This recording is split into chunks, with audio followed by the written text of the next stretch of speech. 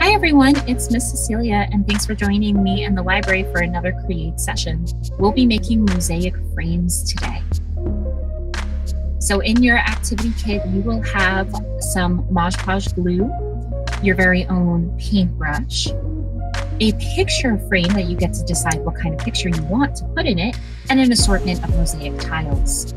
So here are all of your materials and you'll open that glue very carefully so that way it's ready to go when we're ready to glue after we decided how we want to lay our tiles out on our frame. You can select um, particular color schemes or a particular pattern if you would like.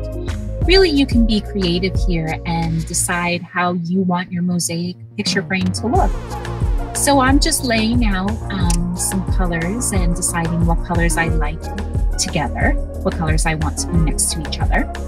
And I decided to kind of border my inner picture here um, and to follow that line, make a, a bigger square around the frame. But you can do whatever you would like. You have plenty of tiles, so get creative and create a pattern of your very own.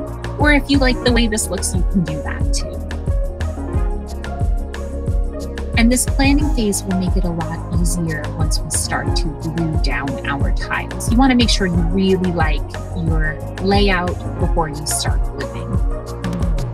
So once you decide you like that, you can go ahead and grab your glue and dab a little bit of glue on your paintbrush and go one by one with the tiles and glue them down in the pattern that you already planned out.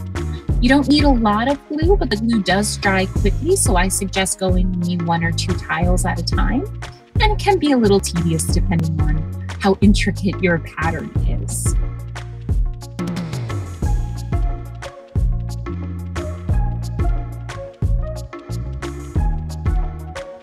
And so once you're basically done gluing um, your tiles down, you can go ahead and put a sealing coat of uh, Podge on your tiles. It does dry clear, so don't worry too much about that.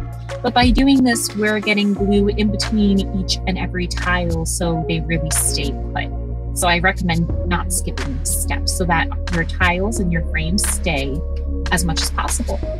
And then I decided that my outside edges were a little bare, so I made a cute little pattern um, on the corners, but you could do whatever you would like with your outside edge of your frame. If you wanted to fill the entire frame with tiles, you could try to do that.